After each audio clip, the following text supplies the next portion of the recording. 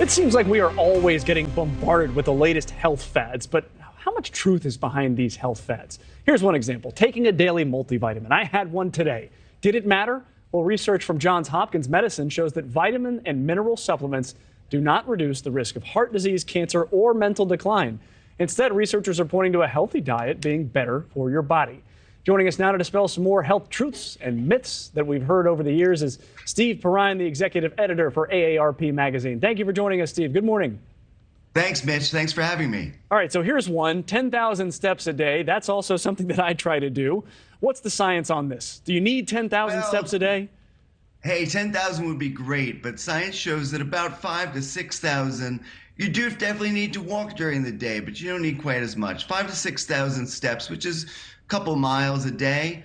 That's all you really need to cut your risk of early death by 50 to 60 percent. We all want to cut our risk of early death, hopefully. Uh, another one is eight glasses of water a day. That's only 64 ounces, but there are bottles that show you, hey, you've had your 64 ounces or not. So, what have you found in the research as far as that goes?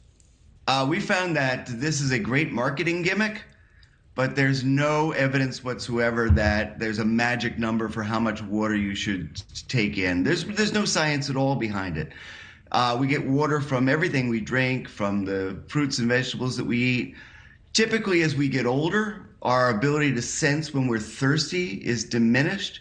So it is important to be conscious and to be drinking water, but there's not a set number that you need to be aiming for. I see. Just make sure you're not thirsty. Uh, that's that's a pretty good rule of thumb there. Uh, this is one I didn't think about. I, I, know I have my own preference. The healthiest way to dry your hands, I definitely prefer to have a paper towel and to make sure my yes. hands are dry as opposed to waiting for a minute and hoping that the automatic dryer actually senses your hands. Uh, is one of these healthier than another? Yeah, well, uh, technology isn't always an improvement, and the air dryers um, simply don't are, simply aren't as hygienic as regular paper towels. They leave our hands wet and they can actually spread germs by blowing them around in the air.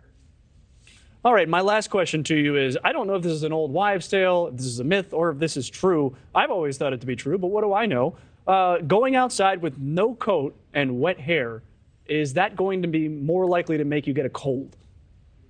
Well, the reality is that colds come from viruses. They don't come from, uh, you know, magic um, uh, issues in the air. Magic sartorial combinations. you get a cold. so, so, um, so no. Going outside with wet hair, wet, um, as long as you stay away from people who are sniffling and sneezing, you'll be fine. That makes a lot of sense to me. That's Steve Perrine making a lot of sense for AARP Magazine. Thank you for joining us. Thank you for watching. Go to newsnationnow.com to find News Nation on your television provider. And don't forget to click the red subscribe button below to get more of News Nation's fact driven, unbiased coverage.